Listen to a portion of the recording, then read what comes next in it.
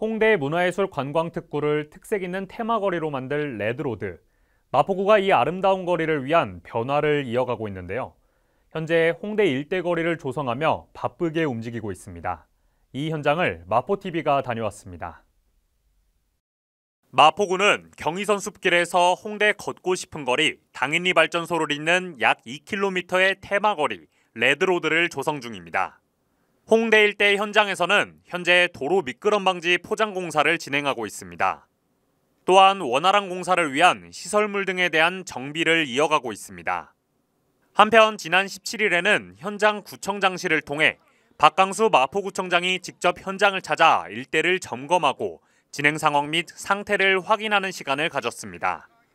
마포구는 이번 레드로드 조성 사업을 통해 다양한 거리별로 색을 입혀 쉽게 구분할 수 있게 만들 예정이며 이를 통해 상권 활성화 및 장기적인 지역 발전을 이끌 계획입니다.